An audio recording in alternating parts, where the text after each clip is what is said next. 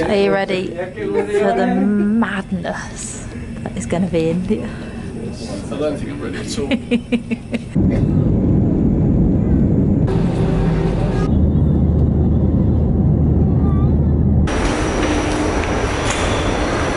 Something so exciting about arriving somewhere for the first time and being like, we've been here before. This is Josh, and I'm Erin. Follow us as we document our adventures around the world. We hope it will inform, inspire, and entertain. It's a very grey morning. We touched down in Chennai in the early hours of Tuesday morning and spent our first few days in India exploring, organising, and just generally eating everything in sight. I have no idea if we're on the right train, if we're going the right way. We've not got a ticket, no idea if we're meant to buy a ticket. Just winging it. When they go, we'll go. With no plans past where we were staying for the first night, we had some research to do and decided to head south down the coast. Traffic that way. Go, go, go, go, go. It is total madness. It's a full-on attack of the senses. you walk past a stall and you get the smell of some, some amazing food. And you breathe deeper and then you, you suddenly just get this waft of Shit. and, then, Literally. and then you get almost run over by a bike. This is just like a back street. It's not even a main road.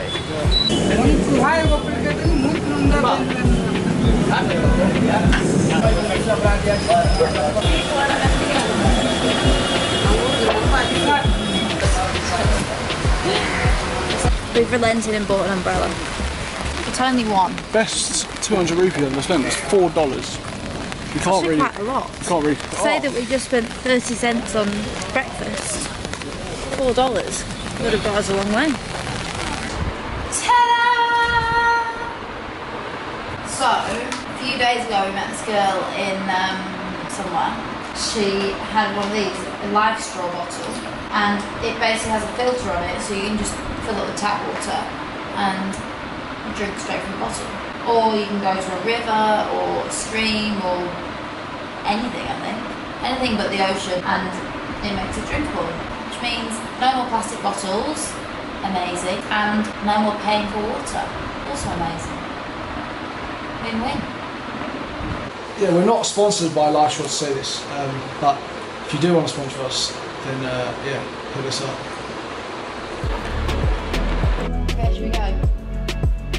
Like little obstacle course trying to get down the road because of the rain or the puddles are so big.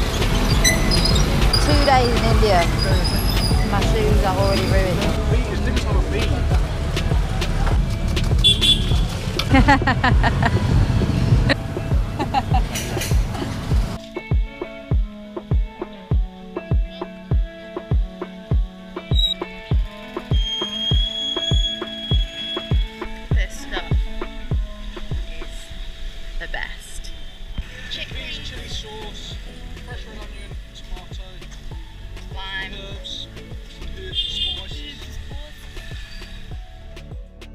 Oldest cities in India. Present day known for great monuments, cave cemeteries, sculptures. So I guess we're going to Mahabalipuram. Yeah, we're thinking about going to Mahabalipuram, which is about three, four hours south of here on the coast. Train, the bus, train, train and a bus, I think, to get there. Early night, because up early tomorrow, get the train, get the bus, arrive there, find somewhere to stay, go exploring.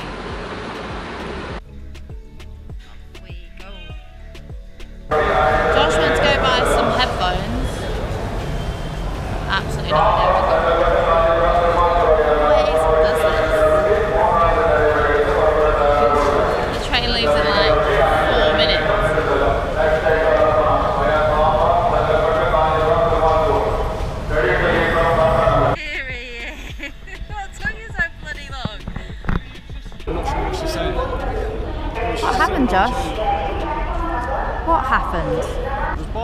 headphones. The guy was taking ages, and uh, I, I I sprinted, but I didn't make it. We missed our train.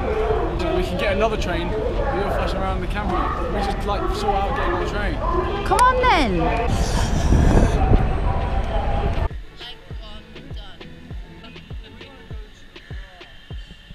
We're just waiting for the bus. This is the bus. It's not even a bus stop. It's just a, just the side of the road. Someone's picked a point and said, "This is where the bus is going to stop."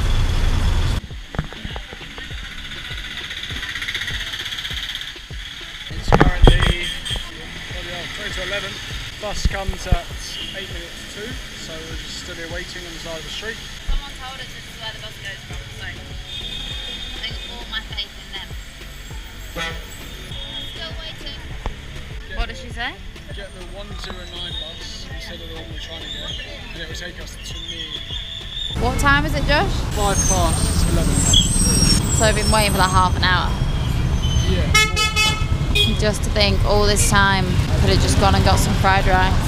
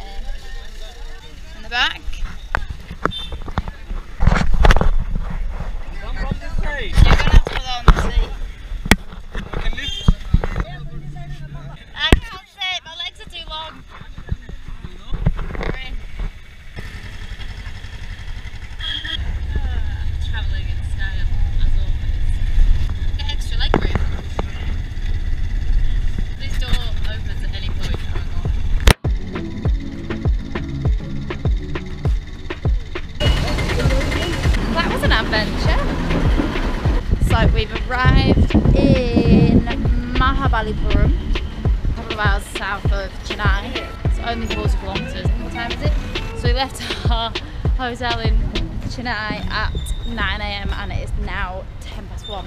Over four hours to go 40 kilometres. I think we probably could have walked quicker. But it's all good fun and games. Temples, the oldest city in India, one of the oldest cities in India. It's got stuff, no, no real Yeah. main attractions, but we've got a lot of time to kill, so um, we're gonna enjoy it. Our journey had taken us over four hours. We'd taken a train, a bus, and what I will call a small van that is apparently actually a private bus.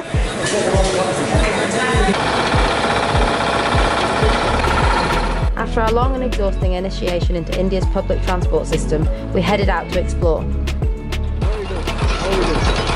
That's so good. Good suggestion, Joshua. Time for a wander. Mahabalipuram is one of the oldest cities in India and sits on the east coast between the Bay of Bengal and the Great Salt Lake. Most of the temples here were built back in the 7th and 8th century, making it a busy Indian tourist destination. What's going on, Erin? Where are we? I'm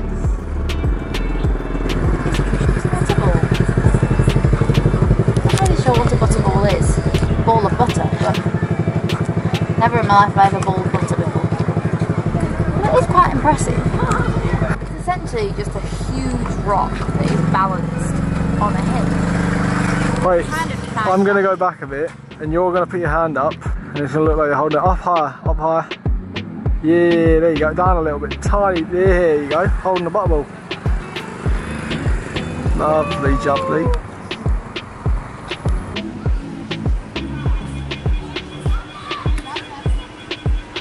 We need to go find a place that does laundry. Our laundry situation is critical.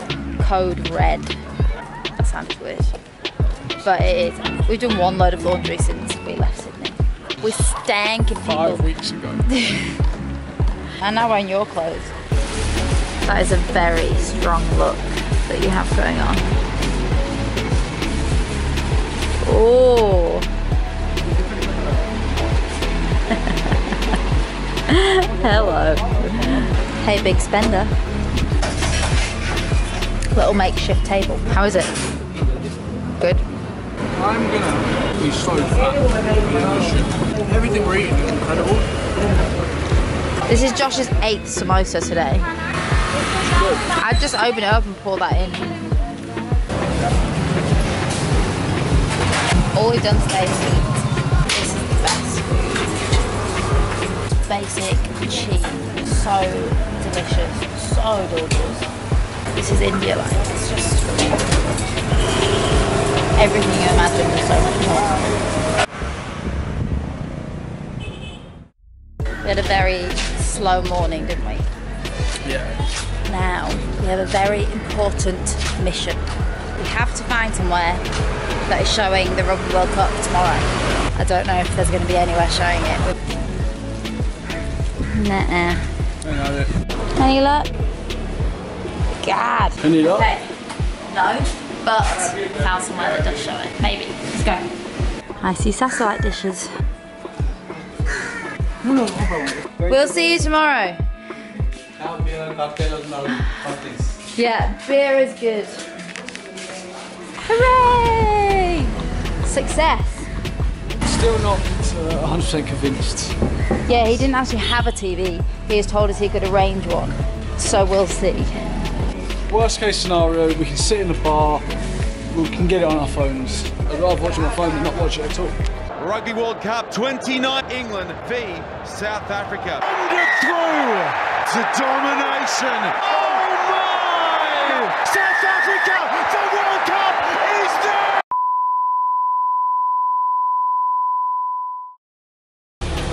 Just waiting for our ride. There you go, 40 patties. Oh. It was a very, very disappointing defeat. So Erin doesn't feel well. What's up? I just feel very weak. I think the lack of vegetables and just the generally very poor diet. Well, we've eaten vegetables, just very overly cooked, non-nutritious vegetables. I started taking some vitamins today, so I think the England loss has taken it out of us. We, we Yeah, do want to get to Poncho right now. The sun's going down and we're still a good two and a half hours from Pondicherry. We're going on to, to Pondicherry and paying what we think is over the odds for twice what we normally yeah, our most expensive day of accommodation the whole trip. We've gone from our cheapest to our most expensive. Yeah, 500 rupees each, which is $10 Australian each, almost half our budget for a day. Ten dollars um, a night for both of us is our budget for the day. Yeah, yeah, we're doubling But that easily. Roughly, evening, just because it's Saturday night. Tomorrow night is much cheaper, and then Monday night is have to take the hit. This big boy with me, over I go. 22 kilograms of pure fucking Shit. fashion. Fashion. Fashion. Feeling pretty good myself. I think it's the fashion that's keeping me going. I feel like you've my energy. You've got so much energy right now, and I Beer has, beer me the energy. I feel like we've spent just spend our lives waiting for buses, for trains, for people, for everything right now. We're waiting for our BlaBlaCar basically. So we're like hitchhiking a lift to Pondicherry. But it's really late. Hopefully he'll be here soon. Ah, finally.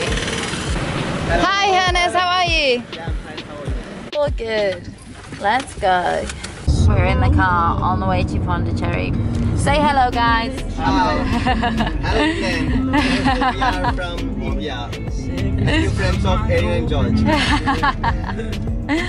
Perfect. They're very kindly driving us to Pondicherry. So we just got out of the car, got to the hostel, and apparently there's no room, and they tried to call us, but now apparently there is room. Very confusing. The guys who gave us a lift were the loveliest people. They sorted everything out. I don't think I've got the energy for these stairs. I am so ready for bed. I'm knackered. Thanks for watching, guys. Join us next week when things take a slight turn for the worse for me health wise and we change up our plans to travel over to the west coast. See you then.